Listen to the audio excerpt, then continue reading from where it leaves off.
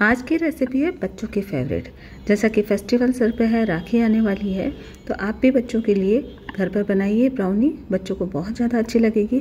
बिल्कुल mouth melting बनी है और बहुत ज़्यादा सॉफ्ट बनी है और सभी की फेवरेट होती ही है ये. तो शुरू करते इस रेसिपी को. Just add spices with Deepti आप सभी का वेलकम करती है. इसके लिए सभी मेज़रमेंट मैंने डिस्क्रिप्शन बॉक्स में लिखे हैं. तो इसके लिए मैंने वन कप मैदा लिया है. उसके साथ ही मैंने बेकिंग सोडा बेकिंग पाउडर डाला है। इसमें बेकिंग सोडा नहीं डलता है।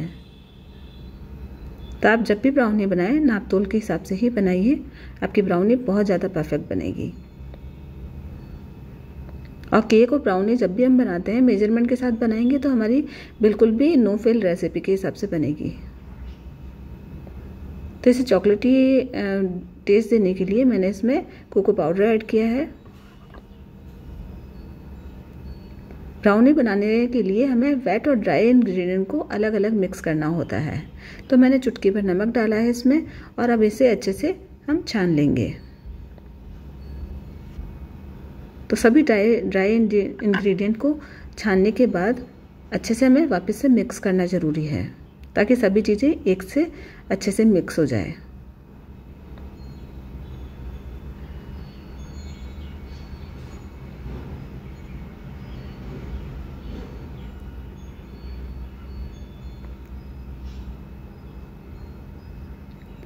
अब इसके साथ ही मैंने मेल्टेड चॉकलेट की ली है। ये डार्क कंपाउंड है, जिसे मैंने डबल बॉयलर के मेथड से इसे मेल्ट कर लिया है और साथ ही इसमें डाला है वन फोर्थ कप घी। आप चाहें तो बटर यूज़ कर सकते हैं, पर मैंने आज इसे घी के साथ ही बनाया है।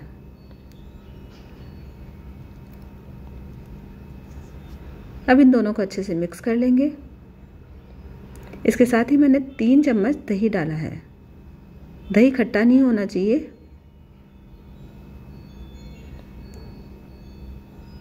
और इसे भी अच्छे से मिक्स कर लेंगे।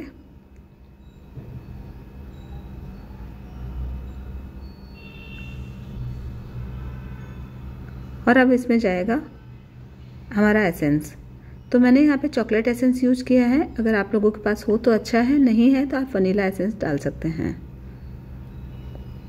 और इसे भी मिक्स कर लेंगे। और इसी के अंदर हम डालेंगे पाउडर शुगर तो पाउडर शुगर हमेशा हमें चॉकलेट के साथ ही मिक्स करनी है। और ये मैंने वन फोर्थ कप ली है, क्योंकि चॉकलेट ऑलरेडी मीठी होती है तो इसे बिल्कुल परफेक्ट मीठी बनी है ये। अब एक बड़े बॉल के अंदर सबसे पहले हम चॉकलेट वाला मिक्सचर डालेंगे।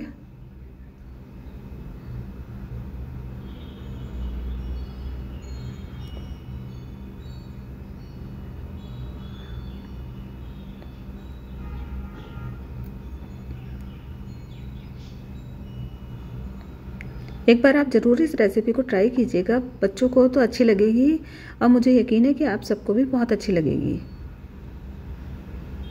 ये एगलेस ब्राउनी है तो सबको अच्छी लगेगी।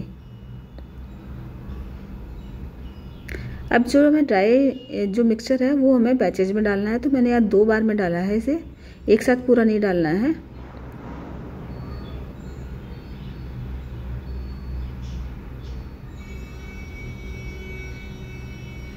और साथ ही मैंने 100 एम दूध लिया है, उसे भी हम डालते रहेंगे साथ साथ।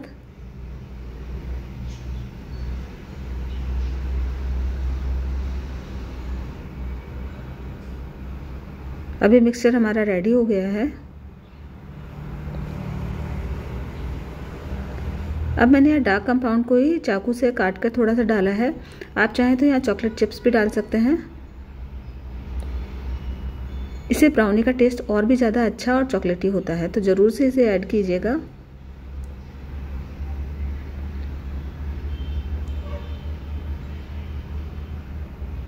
मैंने इसे एक से डेढ़ चम्मच जितना ही ऐड किया है। अगर आप और ज़्यादा चॉकलेटी पसंद करते हैं तो थोड़ा सा और इसे डाल सकते हैं।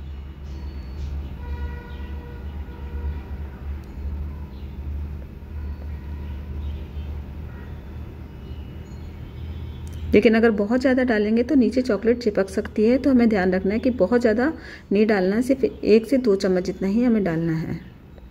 अब लास्ट में मैंने आधा चम्मच के जितना विनेगर ऐड किया है। इससे ब्राउनी हमारी और भी ज़्यादा सॉफ्ट बनेगी।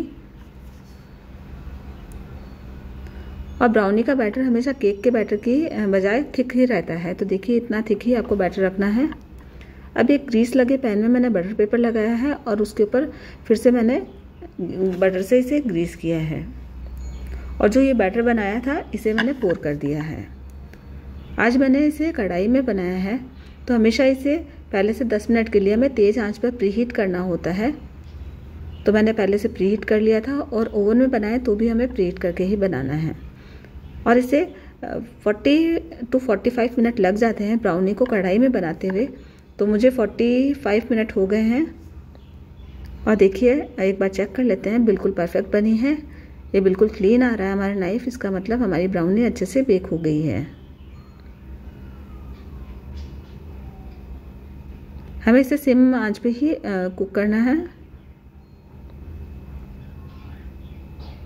देखिए कितनी अच्छे से बेक हुई है और ऊपर से जो क्रैक्स आते हैं, इसका मतलब हमारी ब्राउनी बिल्कुल परफेक्ट बनी है। अब इसे ठंडा करने के बाद हम पीसेज में कट करेंगे। तो इसे आप बाहर निकाल लेंगे और अपने मनचाहे साइज़ के पीसेज को कट कर लेंगे। अगर आपको मेरी रेसिपी अच्छी लगी हो तो इसे लाइक शेयर करें और मेरे चैनल को सब्सक्राइब कीजिए। और मेरी दूसरी रेसिपीज़ को देखने के लिए मेरे channel just add spices with Tripti को विज़िट कीजिए। आप भी बनाइए। Thanks for watching my channel